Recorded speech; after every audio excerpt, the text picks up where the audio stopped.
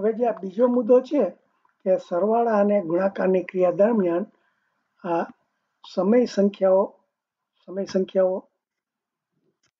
ક્રમનો ગુણધર્મ પાલન કરે છે. એટલે આપણે જો સરવાળો અને ગુણાકાર બંનેની વાત કરીએ છીએ, એટલે આ બધું જો સાથે કર્યું જેમ આપણે પૂર્ણાંક સંખ્યામાં શીખાતા ને, એવી રીતે હવે આ સમયને પણ એ લાગુ પડે છે કે આ પાંચના છેદમાં સાત વત્તા આ ત્રણના છેદમાં બે શું કે છે? ક્રમનો ગુણધર્મ પાલન કરે છે. એટલે આપણે સરવાળા અને ગુણાકારના ક્રમની વાત કરીએ છીએ કે આ અને વત્તા ત્રણના છેદમાં પાંચ કરો. આ બધું જો તમે આનો સરવાળો કરો અને જો એનો ક્રમ બદલી નાખો, ધારો કે આ પાંચના છેદમાં સાત છે વત્તા ત્રણના છેદમાં પાંચ, વત્તા ત્રણના છેદમાં બે કરો, તો આ જે જવાબ આવશે, એ બંને સરખો જ આવે છે. એટલે કે આ ક્રમ આપણે આજે ત્રણના છેદમાં આ ત્રીજું હતું, એને બદલે બીજું સ્થાન કર્યું, તો પણ આ જવાબ બંને સરખા જ આવશે. એટલે આપણે અહીંયા હિસાબ નથી કરતા, પણ એ ક્રમનો ગુણધર્મ પાડે છે. એટલે ચાલો આપણે કરવું હોય તો ટ્રાય કરી જોઈએ. એટલે તમને બરાબર કે બેના છેદમાં ત્રણ વત્તા સાતના છેદમાં ત્રણ વત્તા એકના છેદમાં ત્રણ. બરાબર? આનો સરવાળો કરી અમે એટલું લીધું કે ઝડપથી થાય એટલા માટે. એટલે કીધું છેદ સરખા ના હોય આપણે લઘુત્તમ સરવાળો કરીને કરવા પડે. પણ અમે છેદ સરખા મૂક્યા છે. એટલે અંશનો સરવાળો કરવાનો. બે વત્તા સાત વત્તા એક. એટલે સાત ને નવ ને દસના છેદમાં ત્રણ. એટલે કે ત્રણ પૂર્ણાંક અને એકના છેદમાં ત્રણ. આ જવાબ આવ્યો. હવે જો આનો ક્રમ હું બદલી નાખું કે બેના છેદમાં ત્રણ વત્તા એકના છેદમાં ત્રણ વત્તા સાતના છેદમાં ત્રણ. તો શું થાય? આ છેદ સરખો છે ત્રણ. બે વત્તા એક વત્તા સાત. તો પણ સાતને બે ને ત્રણ. સાતને ત્રણ દસના છેદમાં ત્રણ. તો જો આ આ પણ જવાબ ત્રણ એકના છેદમાં ત્રણ. આવી ગયો. બધા સરખા. એટલે આપણે આ રીતે ક્રમમાં, એટલે શું કહે છે કે તમે આ એ વત્તા બી વત્તા સી બરાબર જો એનો જવાબ ડી આવતો હોય બીજગણિતમાં તો તમે એ વત્તા સી વત્તા બી કરો તો પણ એનો જવાબ ડી જ આવે. એટલે આને ક્રમનો ગુણધર્મ કહે ક્રમ એટલે એ, એનો ક્રમનો ગુણધર્મ. એટલે આ વસ્તુ સરવાળા માટે. અને બીજું કોને માટે લાગુ પડે? સરવાળો અને ગુણાકાર. હવે જો બાદ બાકીની વાત નથી કરતા, કે બાદ બાકીમાં તમે તમે એમ કે પાંચના છેદમાં ત્રણ ઓછા બેના છેદમાં ત્રણ કરો. તો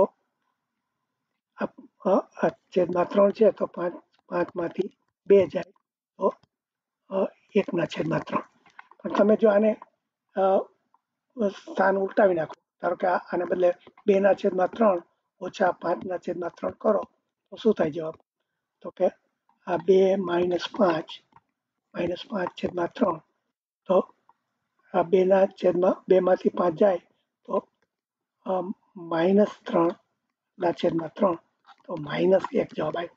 તો જો આ એકના છેદમાં ત્રણ આવ્યો તો, અહીંયા માઇનસ એક આવ્યો.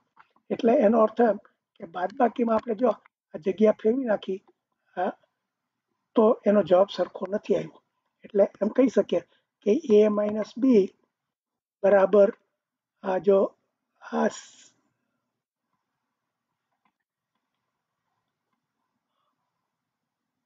આ સી હોય તો આ બી માઇનસ એ બરાબર આ સી ના થાય.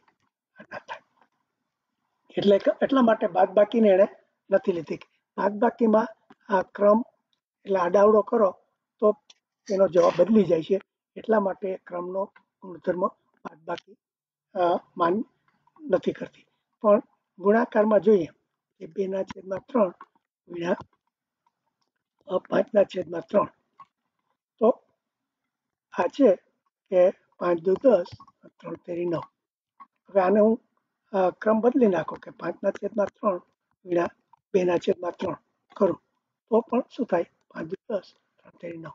એટલે આ ગુણાકાર માટે ગુણાકાર માટે ગુણાકાર માટે આ ક્રમનો ગુણધર્મ લાગુ પડે છે બરોબર? હવે ભાગાકાર માટે શું થાય? કે પાંચના છેદમાં સાત ભાંગા એકના બેના છેદમાં સાત કરો બેના છેદમાં સાત. તો શું થાય? કે આપણે એમ કીધું કે ભાગાકાર કરવો હોય ત્યારે આની ઉલટાવી કરીએ કરાવી શકીએ. તો પાંચના છેદમાં સાત ગુણ્યા સાતના છેદમાં બે એમ લખી શકાય. સાતરો ઉડી જાય એટલે પાંચના છેદમાં આ બે આવી ગયા. બરોબર? એટલે આ ભાગાકાર થયો. પણ હું એને જો ઉલટાવી નાખું કે આ ભાગાકાર બેના છેદમાં સાત ભાંગા પાંચના છેદમાં સાત કરું, તો શું થાય? તો આ બે સાત ગુણ્યા સાતના છેદમાં પાંચ સાથે સાત ઉડી જાય બેના છેદમાં પાંચ આવ્યો. એટલે જો આ જવાબ જુદો આવી ગયો.